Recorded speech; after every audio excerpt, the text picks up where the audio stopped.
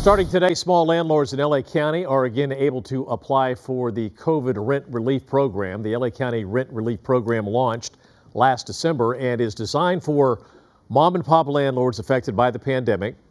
People who own four units or less are eligible. It's designed to reduce evictions by providing up to $30,000 per unit, gov- covering past due rent back to April of 2022.